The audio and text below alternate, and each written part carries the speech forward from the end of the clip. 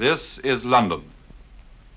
London calling in the home, overseas, and European services of the BBC and through United Nations Radio Mediterranean. And this is John Snagge speaking. Supreme Headquarters, Allied Expeditionary Force, have just issued communique number one, and in a few seconds I will read it to you. Under the command of General Eisenhower, Allied naval forces, supported by strong air forces, began landing Allied armies this morning on the northern coast of France.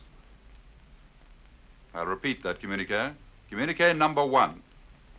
Under the command of General Eisenhower, Allied naval forces, supported by strong air forces, began landing Allied armies this morning on the northern coast of France.